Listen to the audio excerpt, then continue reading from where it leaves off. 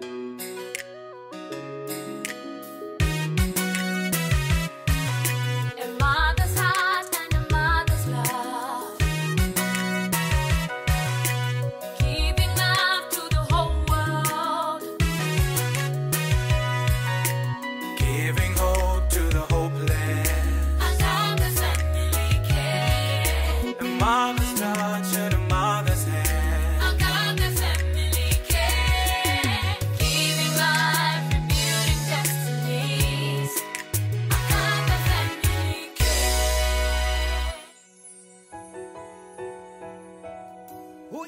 like you, Lord Jesus?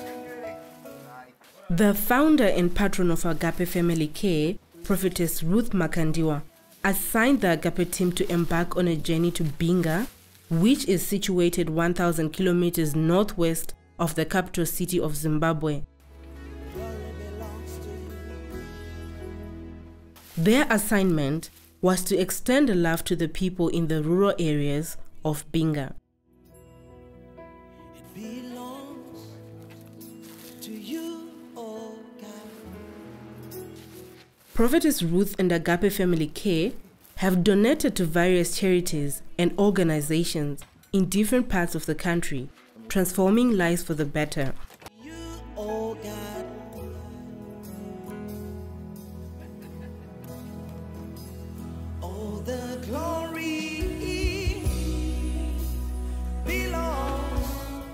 The team started their journey on a Wednesday and traveled for almost six hours, resting for the night in the city of Bulawayo.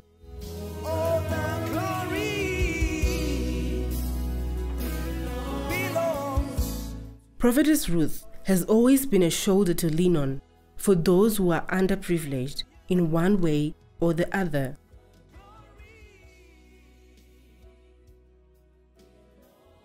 She has drilled boreholes in many different communities, distributed food and clothes in many villages and prisons, providing school fees for thousands of school children, and orphans and widows are being taken care of on a daily basis.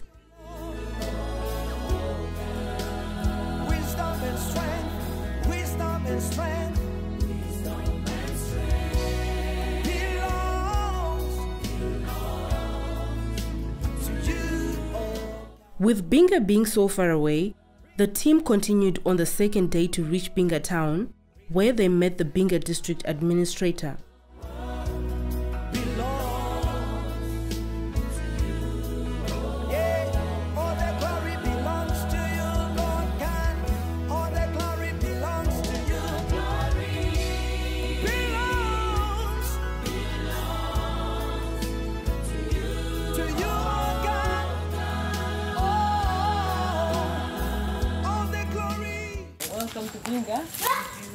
Thank you for coming. We are waiting for you.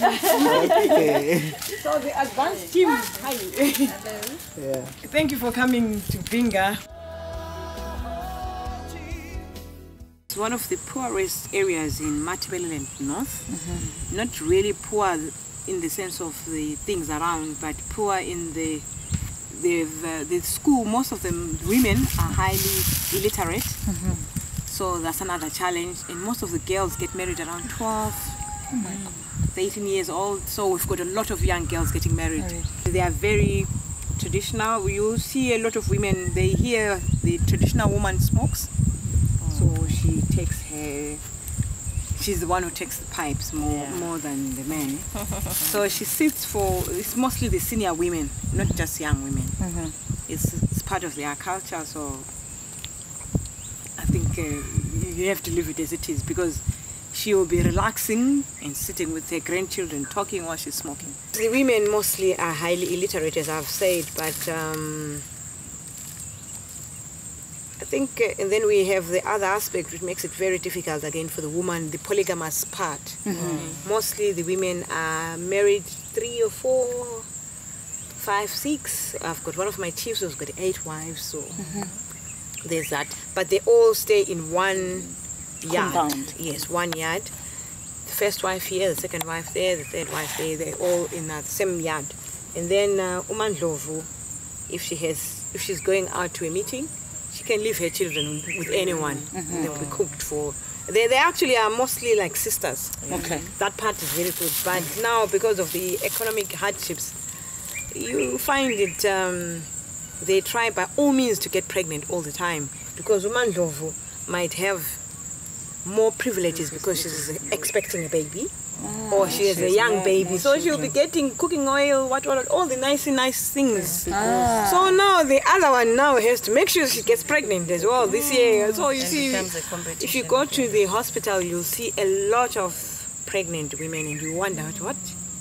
But the issue is that issue of polygamy and everybody wanting to get married and getting pregnant at the so, almost the same time. You have the three or four wives, almost all of them being pregnant at the same time. Yet right now we're having the planting season. People are supposed to be in the field, but now everyone is in pregnant. Yes, because they are trying to what to win the favor from the men who is only one, and that's another aspect which makes the women weaker. One, you're all the time you're having you're getting pregnant. Secondly, you are not literate and you are not able to get anything from the, the, the, the weather pattern here. We've got three regions in one where we have small grains where the rainfall pattern is not so lengthy and not so heavy. Here we we encourage them to actually plant small grains and then conservation farming.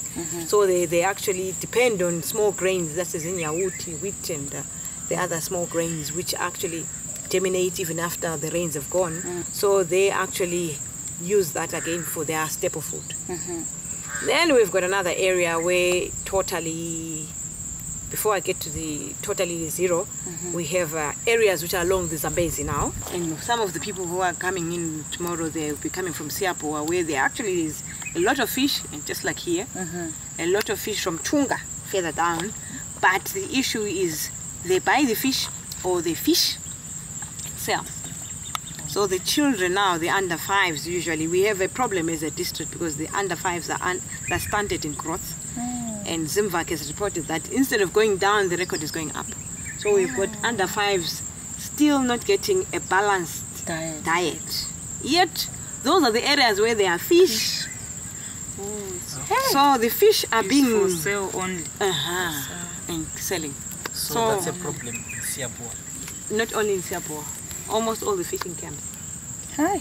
The women And are what so happens busy to the, the, the monies that they get from their produce and the sales? Usually it's the men who do the fishing. It was traditionally the women who used to do the fishing, but eventually the men came in and they're the ones who, most of the rigs are men. At night you see a lot of lights, you'd be thinking it's Zambia, but it will be the rigs going fishing and mostly it's men. Mm-hmm. But the women who fish are very few. We, it's risky going out there. There are crocodiles and whatnot. But the men go out there the whole night and they come here early in the around five, six. They come back, sell the fish, get the money, go drinking. Or go and get another wife. It depends on what you made. And and the wife is 12 years old. Oh, even worse. And the other part which actually affects us, even though we're next to the Zambezi, is uh, water. A lot of women are suffering. They spend hours and hours in water. Look, going to get water either in the river bank and or a well, or going to a borehole, but it's a distance. Mm-hmm. She will come with that bucket of water, and then she has a lot of other chores to, chores to do. Mm-hmm. And then um, the issue of water affects us in the sense that even we're next to the Zambezi, mm-hmm. the borehole situation, we have a lot of boreholes that are there, but they are salty. So it affects us. again. So they don't want that water because you can't drink it. Yeah, You can actually even take a cup, but you can't drink it. It's salty, and some places it's even tastes like um, egg. It's, it's a bit sourish. It- It's just not. Uh, it's just. It's not palatable. So they'd rather go to the river again. But going to the river is a distance. Distance again. So that at least you get a bucket or two buckets from clean water for drinking. And then this other water from the bowl. You can just wash in